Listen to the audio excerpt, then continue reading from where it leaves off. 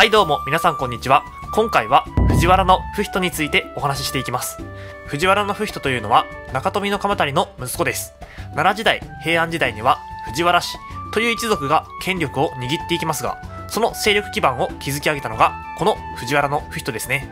ということでこの動画で彼の人生について確認していきましょう。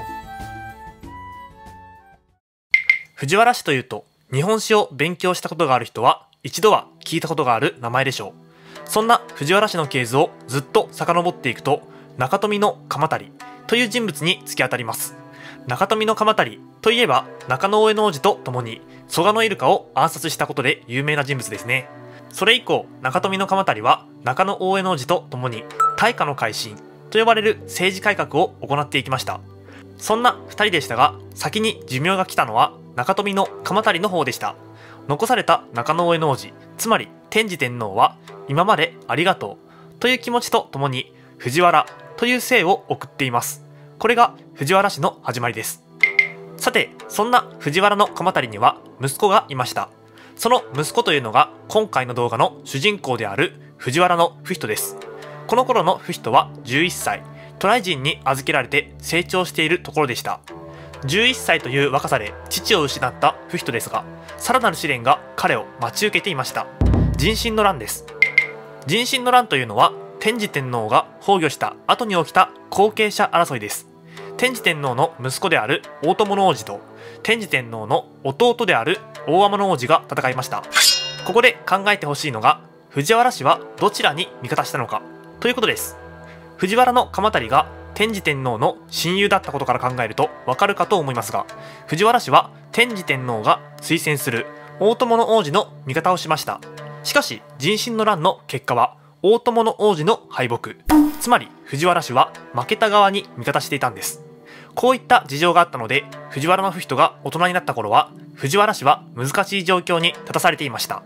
不人はここから藤原氏を復活させていったのです。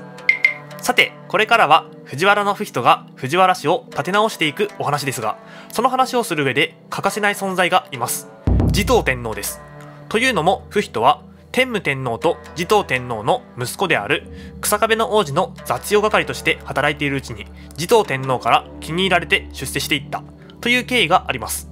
以前の動画でもお話ししましたがこの頃の皇位継承は揉めており天武天皇の次の天皇候補は持統天皇の息子である草壁の王子と大田の姫巫女の息子である大津の王子でした。どちらかというと草壁の王子より大津の王子の方が優秀でしたが息子に皇位を継がせたい。と考えた持統天皇は藤原の人と協力して大津の王子を排除しています。しかし草壁の王子が幼くして亡くなってしまったので悲しみに明け暮れた持統天皇は孫に皇位を継がせたいと考えました。草壁の王子は運よくカルの王子という息子を残していたからです。こうして持統天皇はカルの王子が成長するまでの中継ぎの天皇として即位します。このカルの王子が後の文武天皇です。しかし持統天皇としてはもし自分が死んだら残された文武天皇はどうなるんだ？死ぬまでになんとか国を安定させなければという心配が残ります。こうして持統天皇は律令の編纂に取り掛かるのです。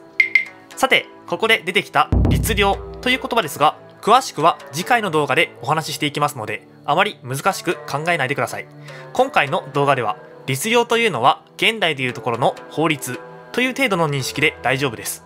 さてそんな律令ですが文武天皇が天皇だった頃具体的に言うと701年に小坂部親王と藤原の不人によって律令が制定されました。当時の元号が大法という元号だったのでこの律令のことを大法律令と言います。小坂部親王というのは誰かというと天武天皇の息子です。彼は天武天皇の命令で日本書紀の原稿を編纂した経験があったので身分と経歴どちらにおいても律令編纂事業の代表者にふさわしい人物だったのです。しかし律令編纂は過酷な働き方だったんでしょう。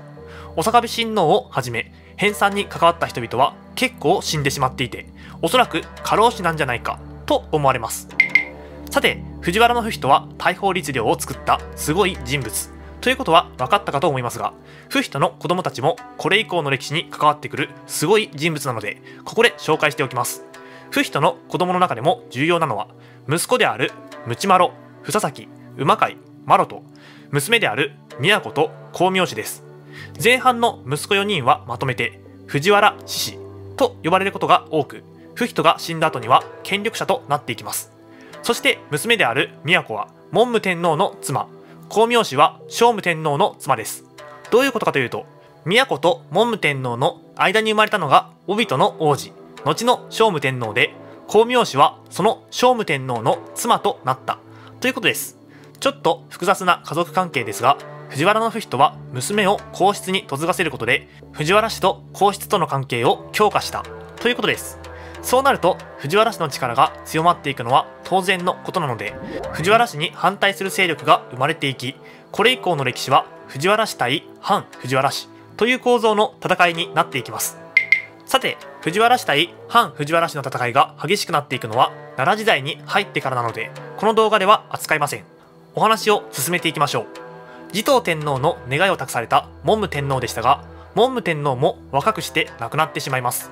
残された帯人の王子はまだ7歳。政治を行うことはできません。ということで、今度は帯人の王子が成長するまでの中継ぎとして、その祖母が即位しました。これが元明天皇です。この元明天皇の頃に和道開鎮の鋳造や平城京への遷都が行われていますが、元明天皇は政治に疲れてしまい、娘に位を譲っています。これが元正天皇です。つまり、帯人の王子に皇位を継がせるために2回連続で中継ぎの天皇を置いたということですね。さて、先ほど元明天皇の頃に行われたこととして挙げた和道開鎮の鋳造ですが、和道開鎮というのはこのようなお金のことです。元明天皇の時代に武蔵の国現在の埼玉県から銅が見つかりましたこれを喜んだ元明天皇は元号を和銅と改元しお金を作らせていますこの時作られたのが和銅開鎮と呼ばれる戦火です。しかし当時の日本はまだ物々交換の時代。米絹布がお金の役割をしていました。そんな状況で朝廷が戦火を作ってもなかなかみんな使ってくれません。朝廷としても貨幣の流通を図るため畜選所異例を出したり給料を貨幣で支払うなどの対策をしましたがあまり効果はありませんでした。さてもう一つ元明天皇の頃に行われたこととして挙げた平城京への遷都ですがこれは有名な出来事なので知っている人も多いでしょう。なんと立派な平城京の語呂合わせも有名です。これ以前の都は奈良盆地南部にあった藤原京。ここから奈良盆地北部の平城京へと都を移したんです。この平城遷都に尽力したのが藤原の不人でした。要するにこの時代の重要な出来事にはほぼ全て不人が関わっている。と言っても過言ではありません。そんな平城京の特徴を上空から確認してみましょう。北部中央にあるのが平城宮。といって天皇が住んでいる場所です。そこから南北に向けてメインストリートである朱雀王子が通っており、南端にはラジオ門と呼ばれる門が設けられ、朱雀王子を境に東側を左京、西側を右京と区分して呼んでいました。ちなみにこの画面上で見ると右と左が逆になっていますが、これは天皇のいる平城宮から見ると左は東で右は西となるからです。さて、平城宮の中を見てみると天皇の日常生活の場である代理や政務を行う調度院などがありましたちなみに現在この辺りは平城宮跡歴史公園となっておりいくつかの建物が復元されています再び上空に戻ってみると平城京の東側に張り出している区画があるのが分かります。これは下京と呼ばれる区画で現在奈良観光をするとなると皆さんここら辺を観光される方が多い印象です。都がほぼ完成すると藤原京からお寺が移転してきました。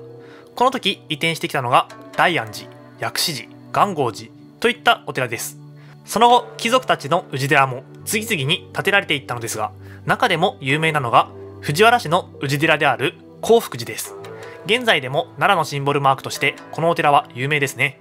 これより先のことにはなりますが聖武天皇によって東大寺が建てられたり鑑真によって東照大寺が建てられたりと平城京にはお寺があるのが特徴です。さてこうして奈良時代が始まったのですがこの頃は藤原不人の晩年にあたります。そんな不人にはやり残したことがありました。大法律令は急いで作ったのでたくさんの穴があったのです。不人としては大法律令に満足していなかったんですね。ということで718年不人が中心となり大法律令の改訂版を編纂し始めます。これが養老律令です。しかしこの編纂作業の途中で藤原の不人は寿命を迎えてしまいこの世を去ることになりました。不人の死によって養老律令の計画は一時中止となりますが不人の孫である藤原の中丸が約40年後にその意思を継ぎ孫によって養老律令は施行されるのです。さていかがだったでしょうか？今回の動画では藤原の不人について見ていきましたので聖武天皇や藤原氏氏といった奈良時代初期の重要人物が出てきました。このままの流れで奈良時代の話をしたいところですが今回の動画で詳しく話さなかった律令というものがこれ以降の日本史においてものすごく重要になってきます。ということで次の動画では律用についてお話ししていきます。それではまた次の動画で。